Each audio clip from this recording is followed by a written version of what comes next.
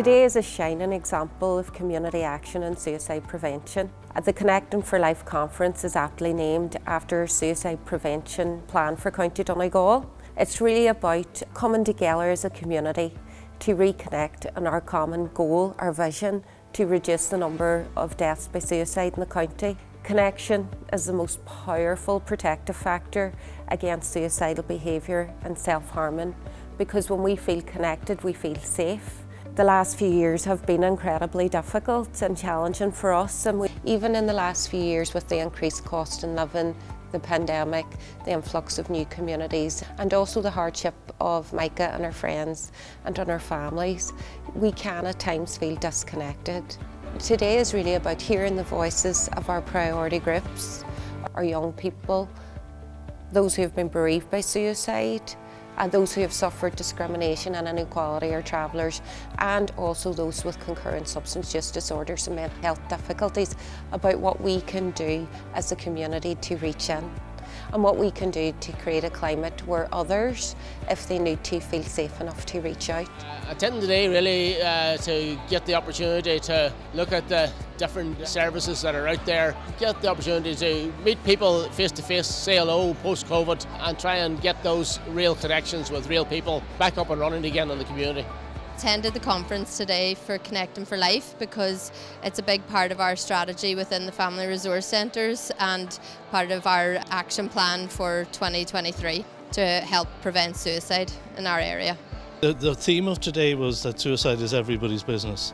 And I think today, you know, the learning that we received from the Travellers Project, also from nationally with the group HUG in relation to suicide bereavement and statistics that they provided with the National Suicide Research Foundation, that brought sort of, you know, clarity of what's required with that.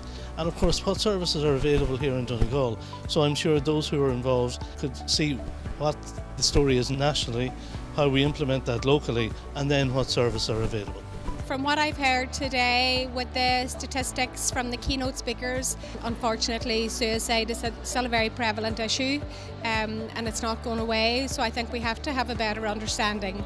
So current research is excellent and really informative to the services that we provide to young people. I suppose my attendance at the conference today is primarily focused on the, the mental health challenges and prospects and outcomes of Traveller Men. I think it's really important we've conducted a piece of research looking at the experiences of Traveller Men specifically in Donegal in relation to their mental health challenges. So to share kind of the processes and outcomes and the findings, but also really importantly the recommendations for change.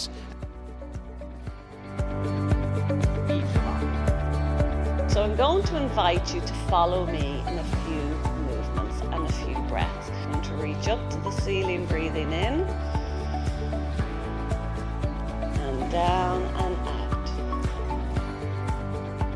And in.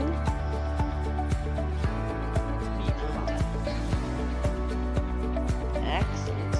It's very important to keep this, this type of conversation casual to reduce the stigma, to make a normal part of life.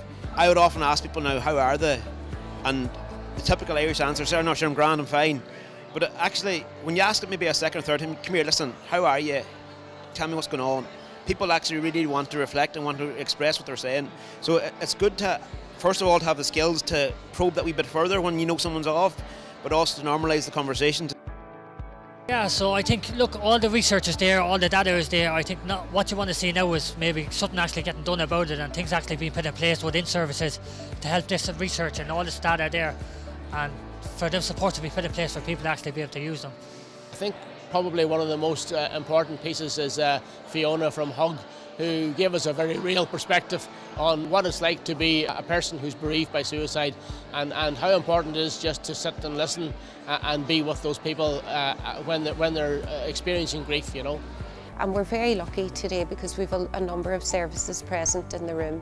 We have Pieta, the SCAN nurses, we have the Healing Untold grief groups who are here to provide support but also to raise awareness of the support services that are out there if people find themselves suffering from suicidal thoughts. And it is important to get help as soon as possible. What's also important about today is that we have an opportunity to let the people of Donegal know about free training in suicide prevention that is available from the Safe Talk to the Assist to the Understanding Self-Harm. It's so important that we do break down stigma, shame and discrimination around mental health, that we do provide an opportunity for people to begin that recovery process.